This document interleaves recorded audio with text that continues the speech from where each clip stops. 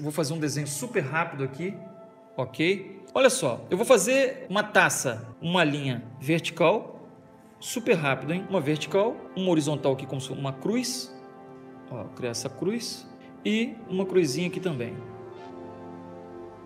Agora, vamos definir aqui a largura, a mesma aqui tem que ter aqui, mesma medida, simetria e aqui. Agora, isso. Aí depende, se tiver visto mais de cima, por exemplo, se a gente for ver num ângulo mais de cima, aí é só arredondar mais aqui. Ó, vamos fazer ela mais, mais do alto.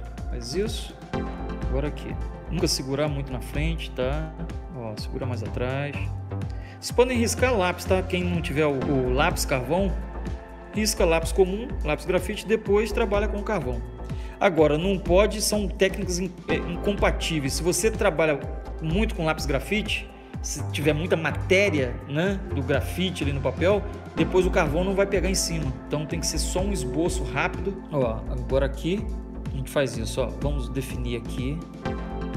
Bom, agora sim, só esbocei rapidamente.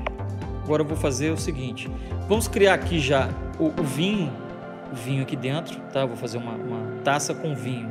Então aqui, ó, a mesma boca que eu fiz aqui, mesma, vai fazer aqui por dentro fazer um escurão aqui. E aí sim, aqui a gente já pode ter a liberdade de trabalhar com a mão. Como é muito matérico, né? um desenho com carvão em cima de um papel que não é branco, nós podemos realmente trabalhar a gordura que existe na nossa mão não vai ficar depositada aqui, não vai estragar o desenho.